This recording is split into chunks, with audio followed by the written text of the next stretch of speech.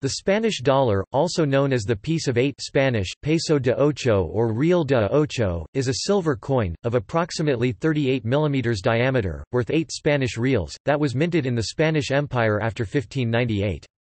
Its purpose was to correspond to the German thaler. The Spanish dollar so called due to being approximately the same weight and fineness of the Dutch Leeuwendaalder was widely used by many countries as the first international, world currency because of its uniformity in standard and milling characteristics. Some countries countersigned the Spanish dollar so it could be used as their local currency. The Spanish dollar was the coin upon which the original United States dollar was based, and it remained legal tender in the United States until the Coinage Act of 1857. Because it was widely used in Europe, the Americas, and the Far East, it became the first world currency by the late 18th century. Aside from the US dollar, several other currencies, such as the Canadian dollar, the Japanese yen, the Chinese yuan, the Philippine peso, and several currencies in the rest of the Americas, were initially based on the Spanish dollar and other eight real coins.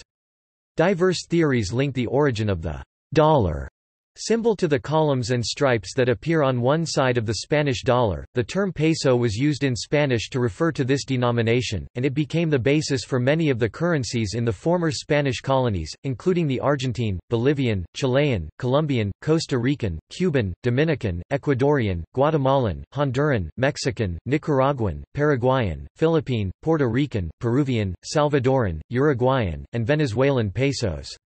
Of these, peso Remains the name of the official currency in Argentina, Chile, Colombia, Cuba, Dominican Republic, Mexico, Philippines, and Uruguay. Millions of Spanish dollars were minted over the course of several centuries.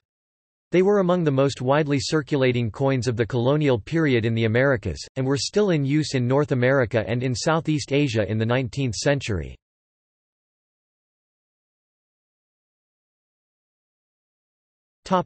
History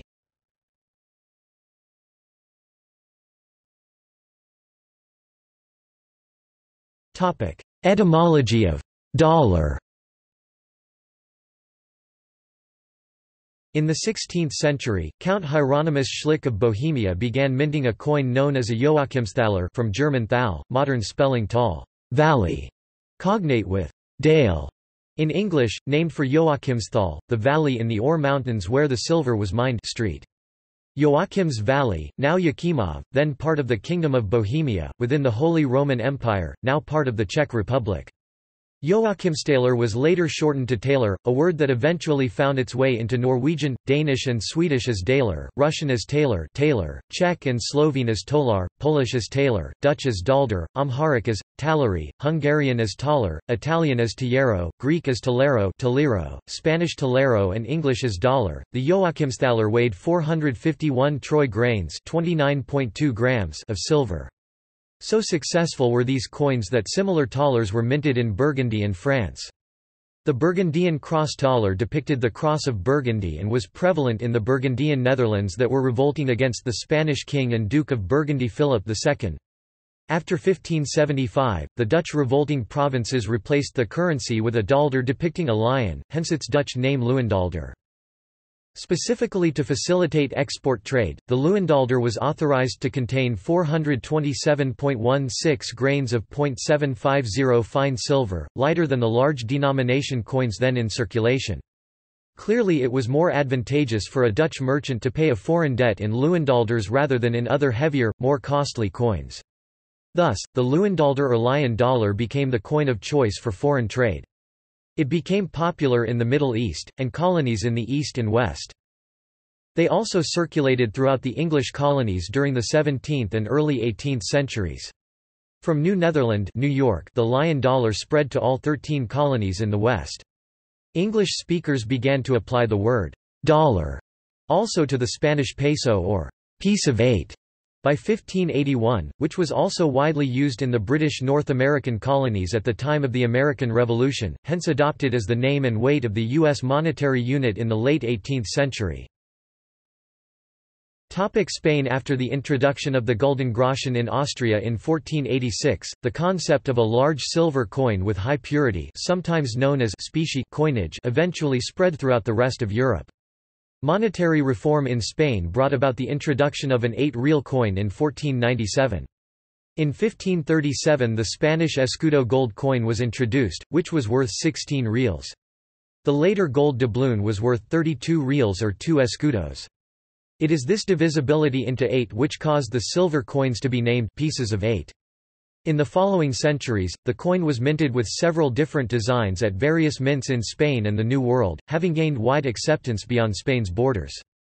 Thanks to the vast silver deposits that were found mainly in Potosi in modern-day Bolivia and to a lesser extent in Mexico for example, at Taxco and Zacatecas, and to silver from Spain's possessions throughout the Americas, mints in Mexico and Peru also began to strike the coin. The main New World mints for Spanish dollars were at Potosi, Lima, and Mexico City with minor mints at Bogotá, Popayan, Guatemala City, and Santiago, and silver dollars from these mints could be distinguished from those minted in Spain by the Pillars of Hercules design on the reverse. In the 19th century, the coin's denomination was changed to 20 reals based on 20 reals de vellon and finally 2 escudos. Spain's adoption of the peseta in 1869 and its joining the Latin monetary union meant the effective end of the last vestiges of the Spanish dollar in Spain itself. However, the 5 peseta coin or duro was slightly smaller and lighter but was also of high purity 90% silver. In the 1990s, commemorative 2000 peseta coins were minted, similar in size and weight to the 8 reals and also with high fineness.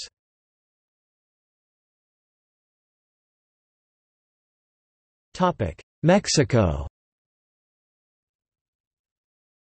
Following independence in 1821, Mexican coinage of silver reals and gold escudos followed that of Spanish lines until decimalization and the introduction of the peso. The Mexican 8 reals coin eventually becoming a 1 peso coin continued to be a popular international trading coin throughout the 19th century. After 1918, the peso was reduced in size and fineness, with further reductions in the 1940s and 1950s. However, 2 1921, 5 1947 and 10 1955 peso coins were minted during the same period with sizes and fineness similar to the old peso.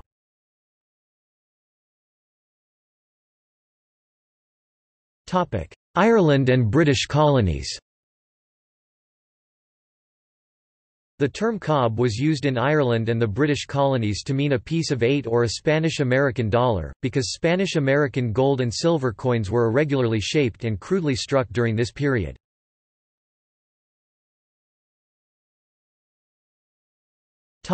Australia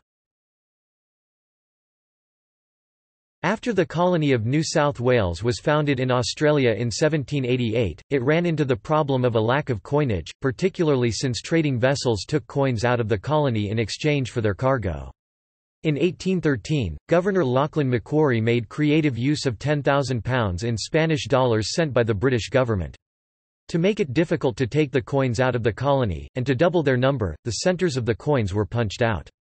The punched centre, known as the dump, was valued at 15 pence, and the outer rim, known as the holy dollar, was worth 5 shillings. This was indicated by overstamping the two new coins. The obverse of the holy dollar was stamped the words, New South Wales, and the date, 1813, and the reverse with the words, 5 shillings. The obverse of the dump was stamped with a crown, the words, New South Wales, and the date, 1813, and the reverse with the words, 15 pence. The mutilated coins became the first official currency produced specifically for circulation in Australia. The expedient was relatively short-lived. The British Parliament passed the Sterling Silver Money Act in 1825, which made British coins the only recognised form of currency and ended any legitimate use of the holy dollar and dump in the Australian colonies.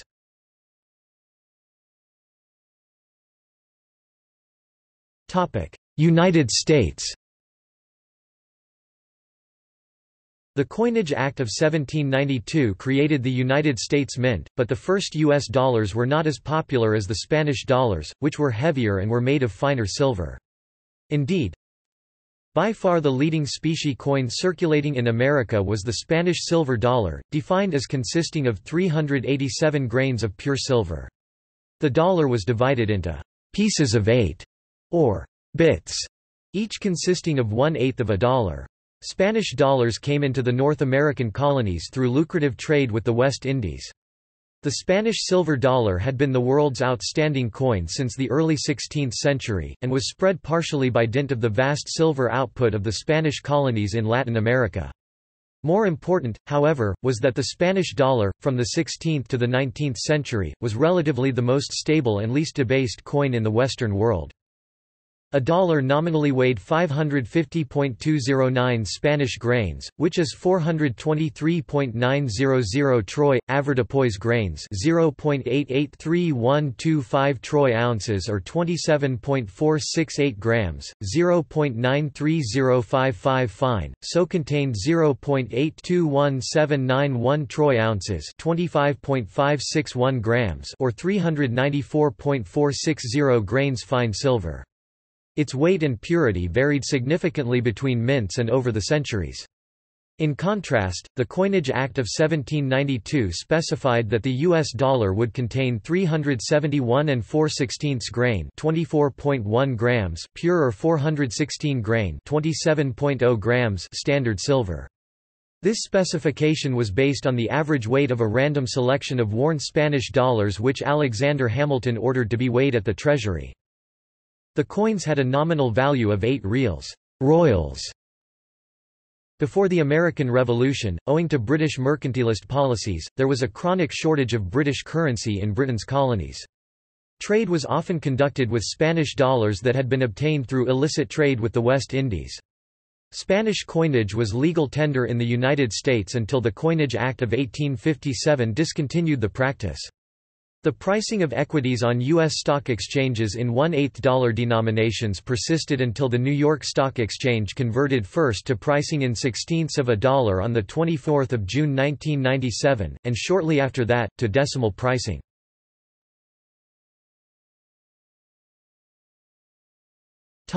Asia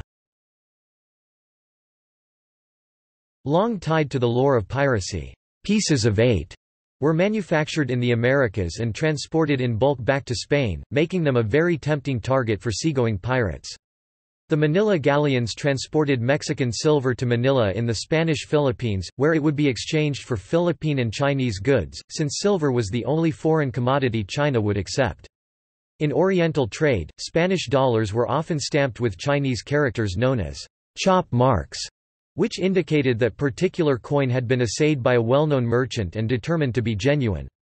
The specifications of the Spanish dollar became a standard for trade in the Far East, with later Western powers issuing trade dollars, and colonial currencies such as the Hong Kong dollar, to the same specifications.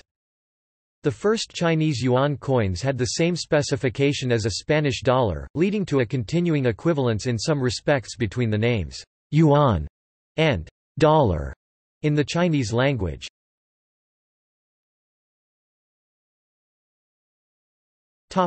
Fiction In modern pop culture and fiction, pieces of eight are most often associated with the popular notion of pirates.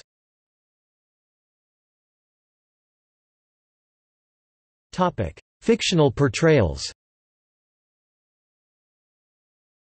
In Robert Louis Stevenson's Treasure Island, Long John Silver's parrot had apparently been trained to cry out, "'Pieces of eight.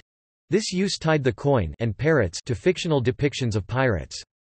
Deriving from the wide popularity of this book, "'Pieces of Eight is sometimes used to mean, "'money' or "'a lot of money' regardless of specific denomination. In Pirates of the Caribbean, at World's End the pirate lords must meet together by presenting the nine pieces of eight, since these pieces were used to seal the goddess Calypso in her human form by the First Brethren court. As the pirate lords were, at the time of sealing Calypso into her human form, too poor to offer real Spanish dollars, they opted to use personal talismans instead, except for the ninth piece of eight, Jack Sparrow's, which was an actual piece of eight that is hanging off his bandana in all movies, up to its destruction in the third film. In Neal Stephenson's The Baroque Cycle numismatics, gold and pieces of eight are an integral part of the plot. In Daniel Defoe's Robinson Crusoe, pieces of eight are also mentioned among the types of currency that the title character encounters. Pieces of eight are the currency used in the video game Puzzle Pirates and in the Monkey Island game series. Pieces of Eight is the eighth studio album and second concept album by Styx, released on 1 September 1978. In May of 1987, Neil Peart of Rush recorded a flexi disc for Modern Drummer magazine titled, Pieces of Eight.